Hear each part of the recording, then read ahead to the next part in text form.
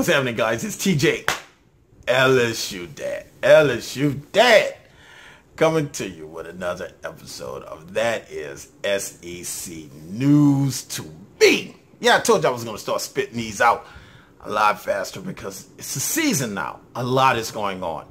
And there's a story right off top that if you ever want to push my button, if you ever want to you ever want to get into a fight with me, bring up these two schools right here, Ohio and Michigan. Why am I so upset with them now? Because you guys know I don't like the Big Ten at all. But why am I particularly so upset with these two right here? It's because of him.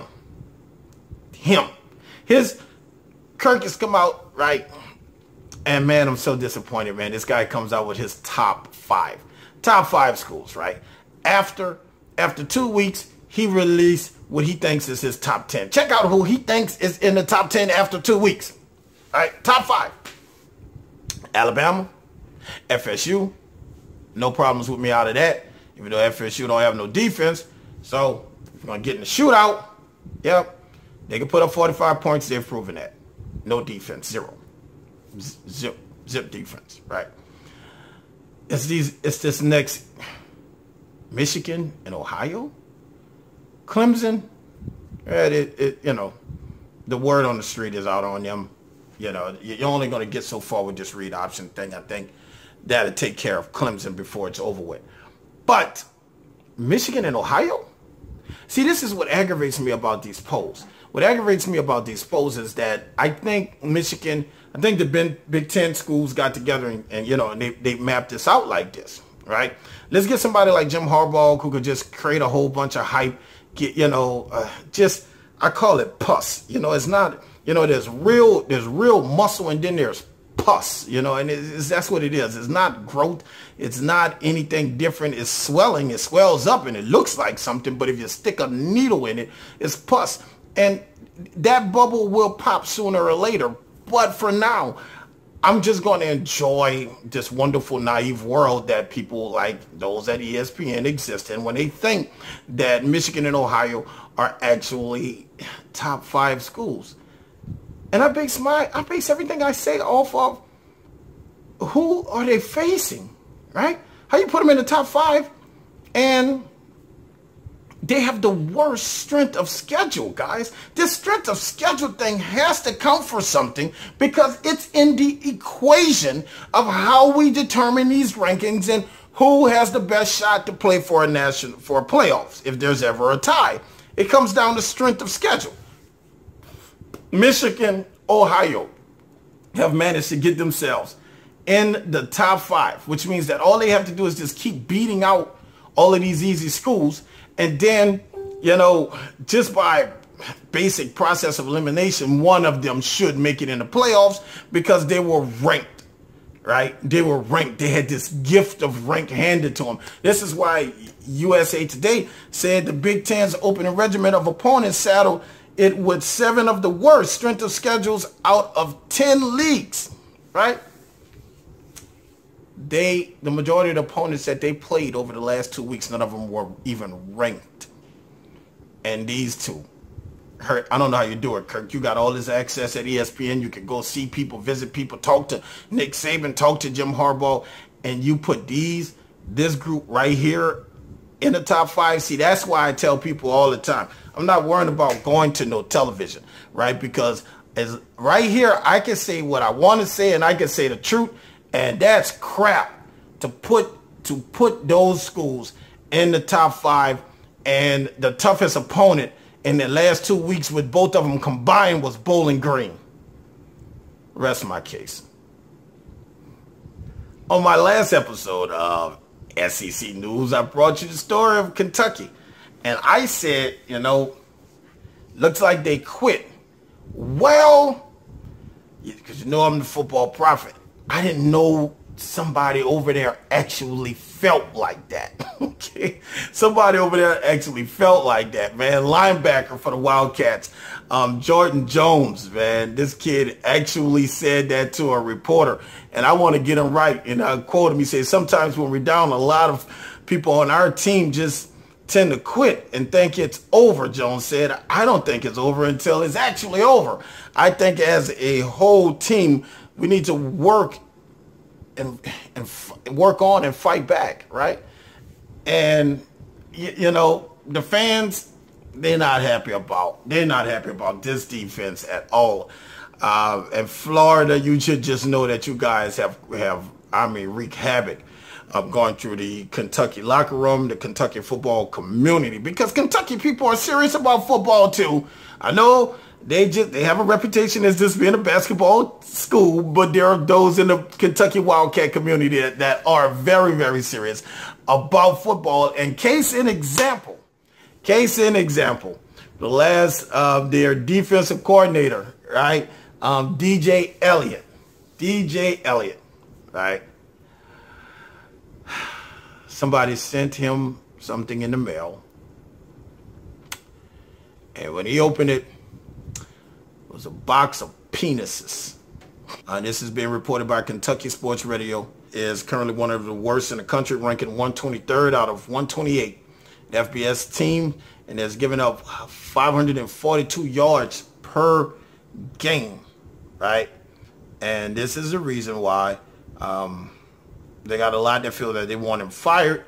And someone shipped him a bag of penis-shaped candy uh, using the web website dixbymail.com, according to a report from Kentucky Sports Radio. So it's getting real in Kentucky.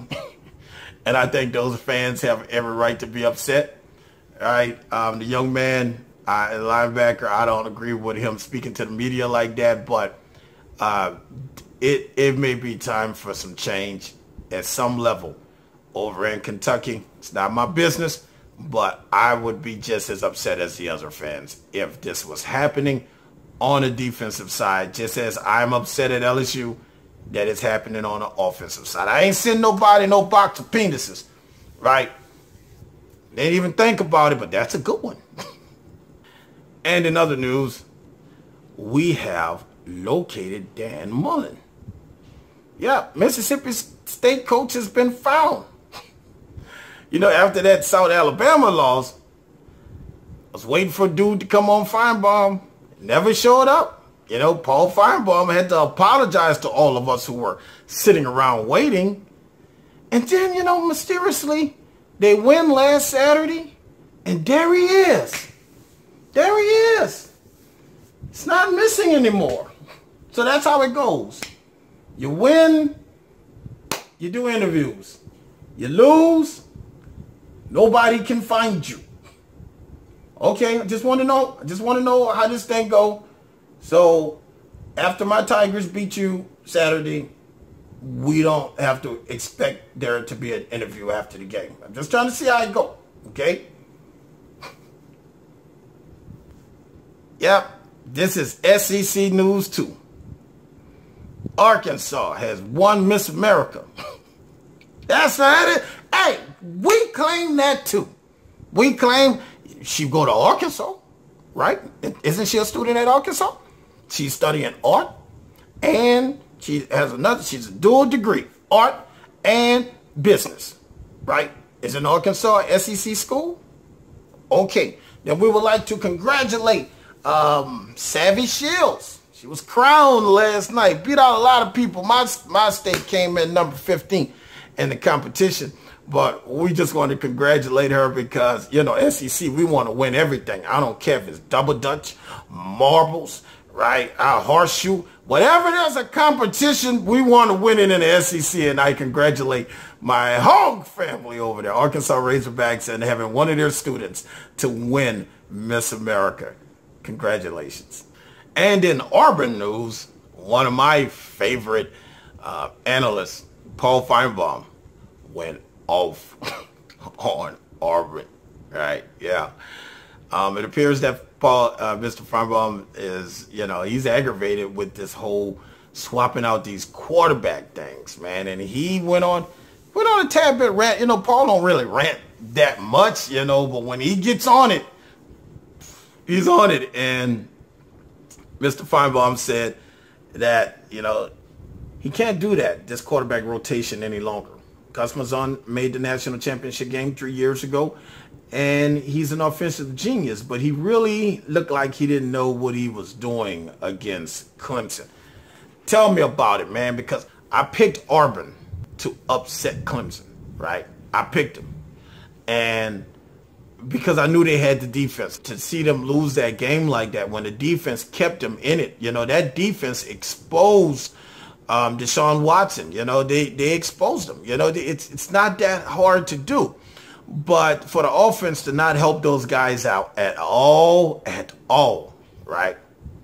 Yeah, pretty, little bit, little bit upset about that. You know, a little bit upset about about that. I, I, lost one on that one. But I agree with Paul on this one, Mr. Finebaum, where I agree with you 100%.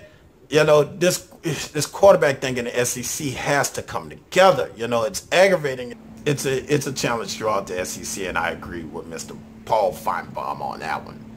Next story. Yep.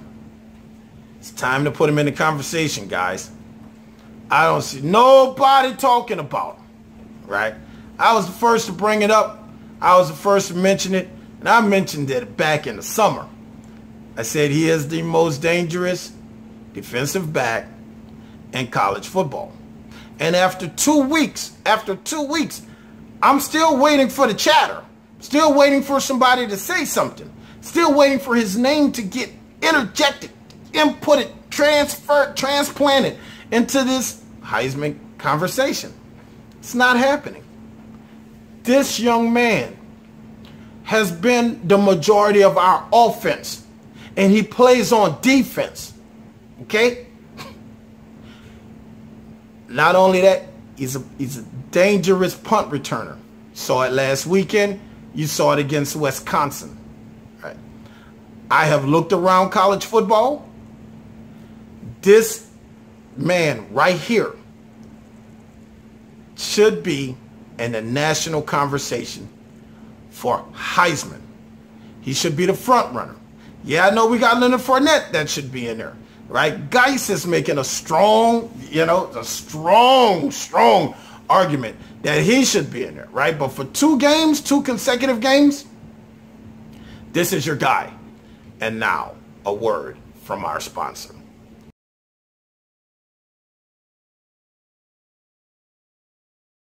defense they have is pretty strong. Will Danny Etling be your starting quarterback next weekend? I don't know. That's a long way away from that. He better be. Like I was going to play. He better be. Uh, kind of got an opportunity there. Guys, that's it. That's all I got. That's all I got. Thank you. Thank you so much for hanging out with me on SEC News. I'm going to keep it coming. As the news come in, I'm going to keep it coming, right? And I hope you're enjoying this segment. And I hit 4,000 subscribers on YouTube, man. Thank you guys so much. That was that was really hard to do. that was really, really hard to do. But I thank you guys so much for the love and support because of you sharing my videos that happen. I don't make no money off of this. There ain't no money in this, right? I just love football, talking about football and hanging out with you. So guys, thank you so much. And until the next one, until the next SEC News to be, it's TJ LSU dead.